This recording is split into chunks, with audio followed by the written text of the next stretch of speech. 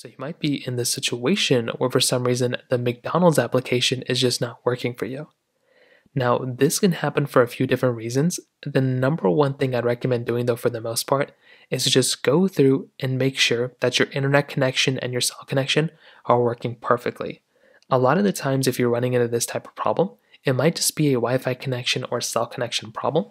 So what I'd recommend doing here is just going through here, double checking your Wi-Fi connection, double checking your cell connection, and all you want to do is just make sure that that's not the problem. So go through, double check those things, and that could very well end up being the number one way to go and fix this problem.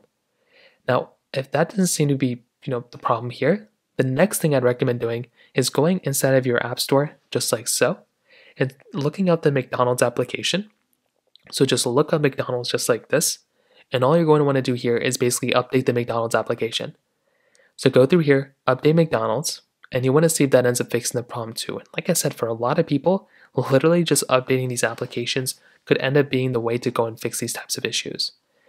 Now, if you do that and that doesn't seem to be the issue that or fixes this issue either, the next thing I'd recommend doing is to go ahead and see if McDonald's is actually down. And you can do this by going to a website like downdetector.com, isitdownrightnow.com, one of these types of websites that basically show you what's up and what's down. And if their servers are down, like if McDonald's servers are down, all you're going to have to do is basically wait it out until they end up fixing their servers and their IT team fixes their issues. Because that's basically the main way to go and fix it. So, those are the main ways to do it. If you have any other thoughts or questions, please let me know in the comment section below.